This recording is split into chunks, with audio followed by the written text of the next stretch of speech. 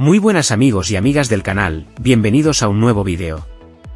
La familia real británica encara momentos turbulentos en materia de salud, con recientes noticias detallando problemas médicos que afectan a sus miembros más destacados. Además del rey Carlos III, quien enfrenta un diagnóstico de cáncer. Se suma la cirugía abdominal de la princesa de Gales, Kate Middleton. Este hecho ha generado inquietud y cuestionamientos sobre su estado de salud, especialmente debido al hermetismo que ha rodeado el tema por parte de la Casa Real. Volviendo al tema de Kate Middleton, es importante recordar que el Palacio de Kensington ha difundido comunicados muy breves y escuetos, respecto a la salud de la princesa de Gales. El primer comunicado anunció el éxito de la cirugía y su hospitalización por aproximadamente dos semanas, mientras que el segundo indicó que Middleton había sido dada de alta y había regresado a su residencia en Windsor, donde continuará su proceso de recuperación. Posteriormente, se informó que se había trasladado a Sandringham junto a Guillermo y sus tres hijos, situación que coincide con la recuperación de Carlos III en el mismo lugar. Hiperémesis gravídica, es la enfermedad que se ha silenciado de la princesa de Gales.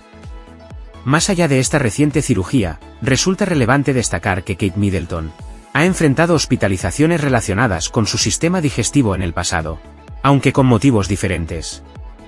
Y es que, en cada uno de sus tres embarazos, la princesa se vio afectada por hiperémesis gravídica, un trastorno que provoca náuseas y vómitos persistentes más allá del primer trimestre de gestación. En situaciones extremas, estas náuseas y vómitos pueden ser tan debilitantes que la futura madre puede experimentar más de 30 episodios de vómitos al día. El mayor riesgo asociado con esta condición es la deshidratación, la pérdida de peso y la cetosis, un estado metabólico donde el cuerpo utiliza las grasas como fuente principal de energía en lugar de los carbohidratos. Aunque poco común, este trastorno puede ser severo y requerir hospitalización para asegurar la rehidratación y la nutrición adecuada de la madre. A lo largo de sus embarazos, Middleton ha requerido múltiples hospitalizaciones debido a la pérdida de tolerancia a los alimentos y la necesidad de suero intravenoso para combatir la deshidratación y mantener su salud en equilibrio. Más allá de su batalla con la hiperémesis gravídica, el historial de salud de Kate Middleton revela una lucha constante contra diversos problemas médicos.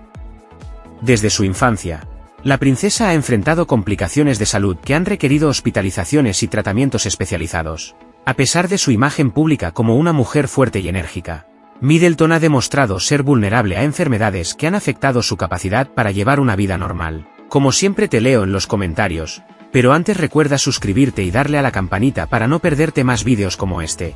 Nos vemos en el próximo vídeo, y muchas gracias por ayudarme a crecer.